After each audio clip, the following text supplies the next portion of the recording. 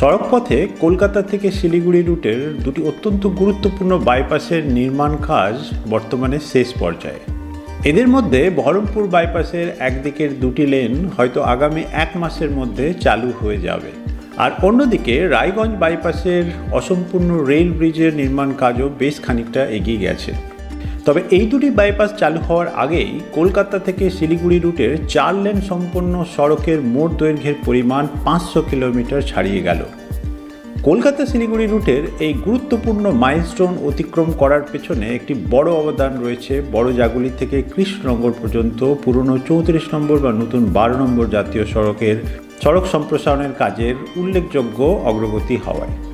স্বাভাবিকভাবেই এখন যে প্রশ্নটি উঠে আসছে তা হলো এই রুটের ঠিক কোন কোন অংশে সড়ক সম্প্রসারণের কাজের অগ্রগতির ফলে চার লেন বিশিষ্ট সড়কের মোট দৈর্ঘ্য পাঁচশো কিলোমিটারের গুরুত্বপূর্ণ মাইলস্টোন অতিক্রম করতে পারল।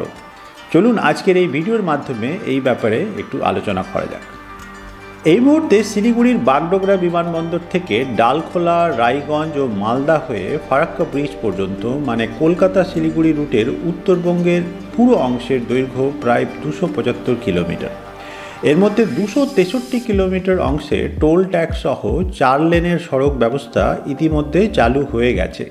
আর উত্তরবঙ্গের বাকি যে বারো কিলোমিটার অংশে এখনও চার লেনের সড়ক ব্যবস্থা চালু হয়নি, সেটি হলো রায়গঞ্জ বাইপাস।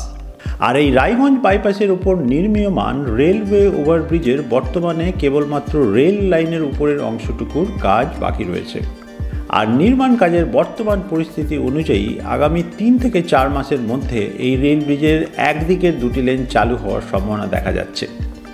এরপর ফারাক্কা ব্রিজ থেকে শুরু করে বহরমপুর হয়ে কৃষ্ণনগরের উত্তরে অবস্থিত বাহাদুরপুর পর্যন্ত অংশের দৈর্ঘ্য প্রায় একশো আশি কিলোমিটার।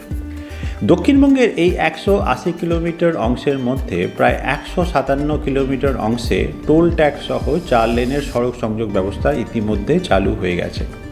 ফারাক্কা থেকে কৃষ্ণনগর পর্যন্ত প্রায় তেইশ কিলোমিটার অংশে সড়ক সম্প্রসারণের কাজ এখনও বাকি রয়েছে।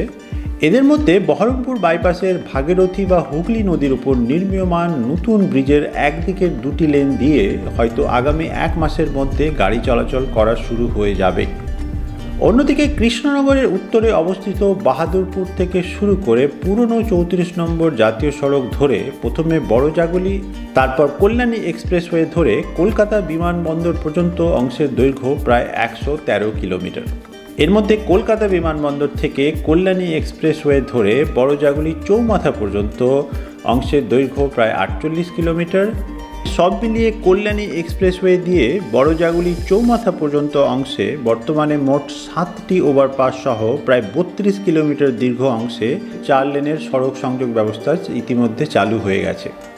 তবে যেমনটি আমি শুরুতে বলেছিলাম যে কলকাতা থেকে শিলিগুড়ি রুটের চার লেন বিশিষ্ট সড়কের মোট দৈর্ঘ্য সম্প্রতি পাঁচশো কিলোমিটার অতিক্রম করার পেছনে একটি বড় অবদান রয়েছে পুরনো চৌত্রিশ নম্বর জাতীয় সড়কের কৃষ্ণনগর থেকে বড় জাগুলি পর্যন্ত অংশের সড়ক সম্প্রসারণের কাজের উল্লেখযোগ্য অগ্রগতি হওয়ায়। তাহলে চলুন আজকের এই ভিডিওটির মাধ্যমে প্রথমে দেখা যাক যে কৃষ্ণনগর থেকে বড় জাগুলি পর্যন্ত অংশে সড়ক সম্প্রসারণের কাজ বর্তমানে কি অবস্থায় রয়েছে। বাহাদুরপুর থেকে শুরু করে কৃষ্ণনগরের দক্ষিণে অবস্থিত বাতকুল্লা মোড় পর্যন্ত অংশের দৈর্ঘ্য প্রায় ছয় কিলোমিটার। আর এই অংশের শুরুতে তৈরি হচ্ছে জলঙ্গি নদীর উপর একটি দু লেনের নতুন ব্রিজ।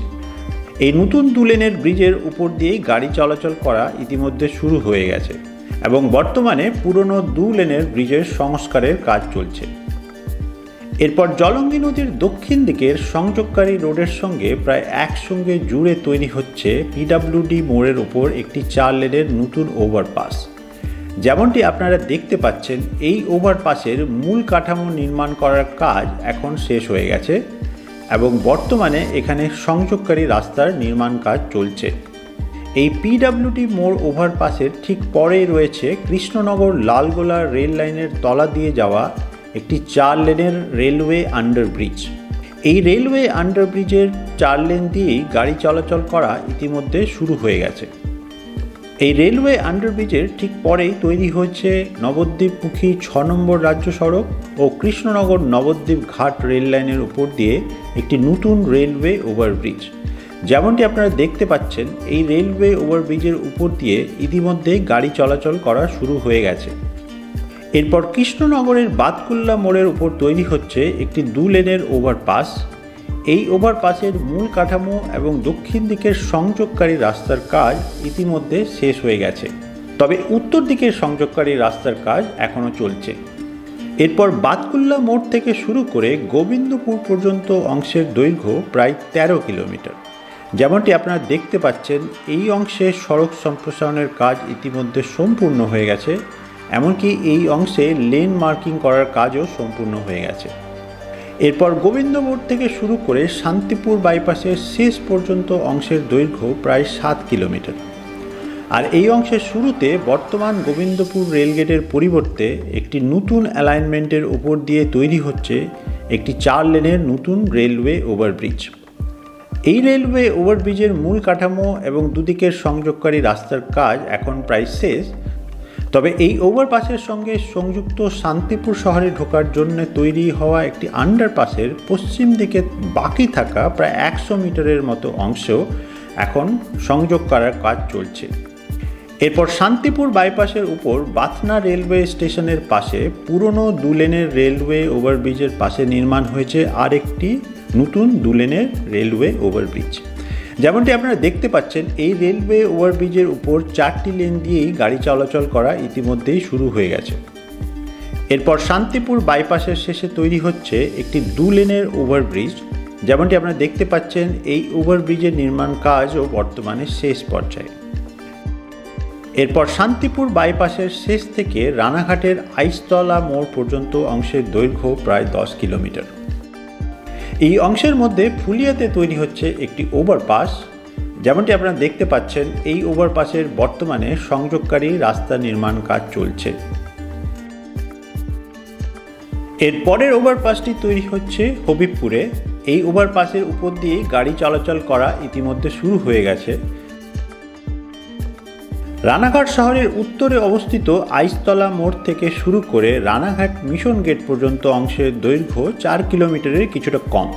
আর এই অংশের শুরুতে এগারো নম্বর রাজ্য সড়কের সংযোগস্থলের উপর তৈরি হচ্ছে একটি চার লেনের ওভারপাস। এই ওভারপাসের বর্তমানে সংযোগকারী রাস্তার নির্মাণ কাজ চলছে।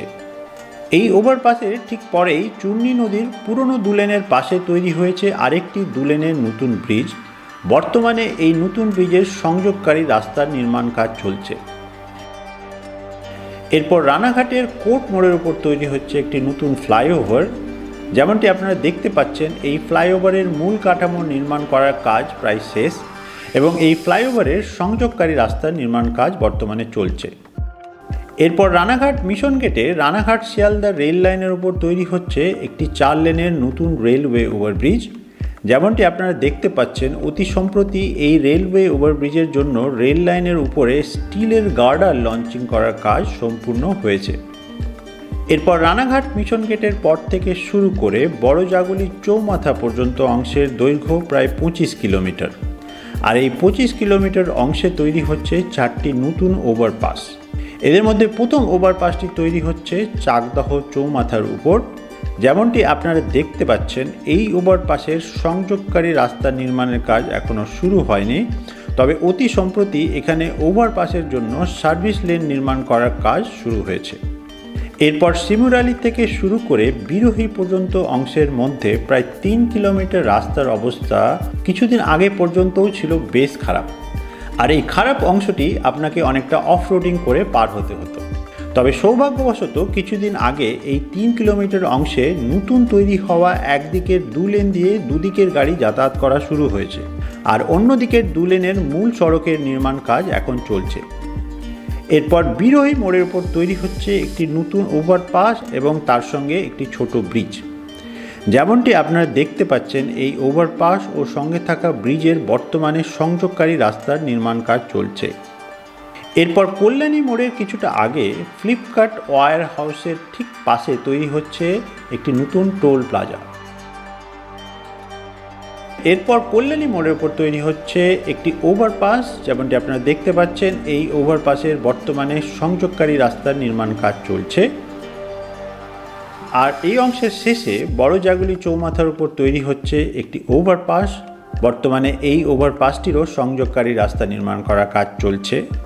এখানে একটি কথা উল্লেখ করা দরকার। পুরনো চৌত্রিশ নম্বর বা নতুন বারো নম্বর জাতীয় সড়কের বর্তমানে সড়ক সম্প্রসারণের কাজ চলছে।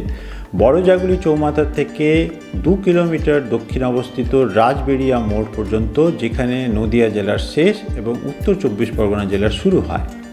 সংক্ষেপে বলতে গেলে কৃষ্ণনগরের উত্তরে অবস্থিত বাহাদুরপুর থেকে বড়জাগুলি চৌমাথা পর্যন্ত অংশের দৈর্ঘ্য প্রায় পঁয়ষট্টি কিলোমিটার। এর মধ্যে তিপ্পান্ন কিলোমিটার অংশে চার লেনের সড়ক সংযোগ ব্যবস্থা ইতিমধ্যে চালু হয়ে গেছে। তার মানে সব মিলিয়ে যা দাঁড়াচ্ছে, প্রথমে কল্যাণী এক্সপ্রেসওয়ে, তারপর বারো নম্বর জাতীয় সড়ক বা পুরনো চৌত্রিশ নম্বর জাতীয় সড়ক এবং শেষে সাতাশ নম্বর জাতীয় সড়ক দিয়ে কলকাতা বিমানবন্দর থেকে শিলিগুড়ির বাগডোগরা বিমানবন্দর পর্যন্ত অংশের দৈর্ঘ্য প্রায় পাঁচশো আটষট্টি কিলোমিটার। আর এই পাঁচশো আটষট্টি কিলোমিটার সড়কের মধ্যে চার লেন সম্পন্ন সড়ক সংযোগ ব্যবস্থা ইতিমধ্যে চালু হয়ে গেছে, প্রায় পাঁচশো পাঁচ কিলোমিটার দীর্ঘ অংশে। আর কাজের বর্তমান পরিস্থিতি অনুযায়ী বহরমপুর বাইপাস এমনকি রায়গঞ্জ বাইপাসও পুজোর মরশুমের আগে চালু হয়ে যেতে পারে। সেক্ষেত্রে পুজোর মরশুমের আগেই কলকাতা থেকে শিলিগুড়ি রুটের চার লেন বিশিষ্ট অংশের দৈর্ঘ্য গিয়ে দাঁড়াবে প্রায় পাঁচশো তিরিশ কিলোমিটারেরও খানিকটা বেশি। এই ভিডিওটি যদি ভালো লেগে থাকে, তাহলে এই চ্যানেলে সাবস্ক্রাইব করার জন্য আপনাকে স্বাগত জানাই।